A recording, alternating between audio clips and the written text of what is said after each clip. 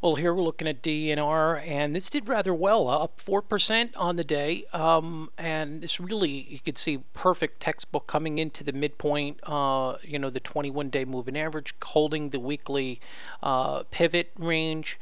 And uh, so it really gave an opportunity right there for catching the low on the day. And you could see it cleaning up and going positive here and hitting a new high. That's the important thing, taking out this prior high.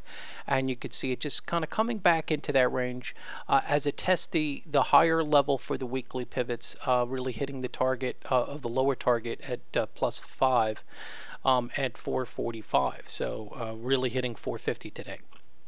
So hopefully we'll see this continue to extend um, and break. We're seeing a little less momentum here from the prior, you know, you know, low that it set. So we need to. We're seeing it uh, improve a little bit uh, we want to see, um, you know, you saw this right here. This is a very nice, this is a nice move. This was above the average, um, but we want to see this start to improve. We saw it kind of break back down on the line, so hopefully the volume starts to pick up a little bit.